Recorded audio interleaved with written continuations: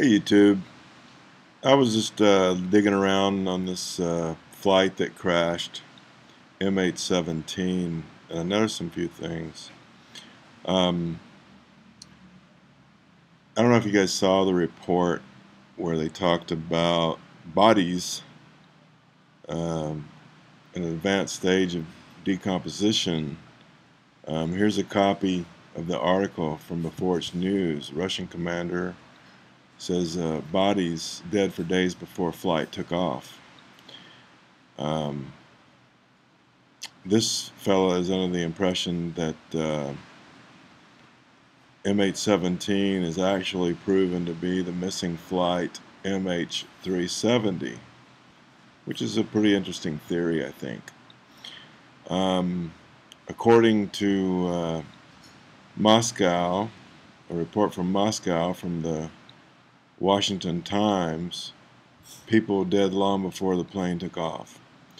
It says a top pro-Russian rebel commander in eastern Ukraine has given a bizarre version of events surrounding the Malaysian jet crash, suggesting that many of the victims may have died days before the plane took off.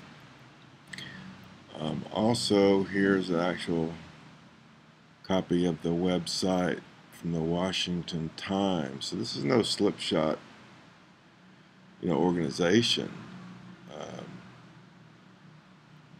and it goes down here. It's copyrighted by the Associated Press.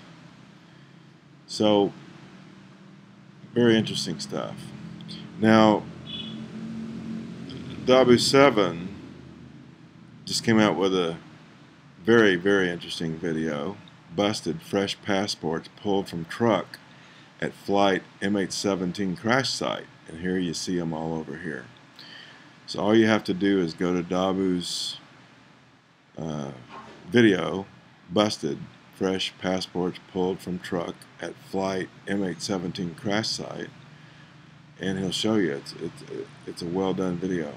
So uh, one thing that I wanted to suggest uh, as a, as a theory, um, throwing a little more into the works here, is uh, with all the UFO sightings and everything around, and as much research as I've done into New Age and uh, all these people that Channel, uh, these entities, alleged aliens, uh, in my book, they're demons, fallen angels, demonic spirits and uh, the, the, scriptures talk about the great deception.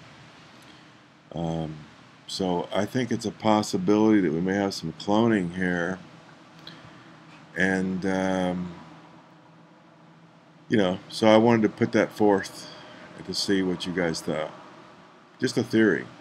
Now here's a YouTube video on. Uh, it's called artificial organ regrowth, and if you're short on time if you go to uh, the 10 minute mark, it'll actually show how this uh, uh, lady got a new uh, windpipe.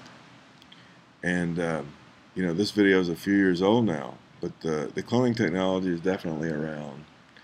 And um, so, you know, what if they take these bodies and they clone them and then they uh, have some type of uh, ability to inject other entities into these bodies.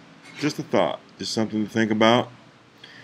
Can't say for sure either way, but uh, just thought I would throw that out there for you because there's a lot of strange things going on in the world today. Um, possibly killing a lot of birds with one stone here. So you guys take care, be well. Talk to you later. Bye bye now.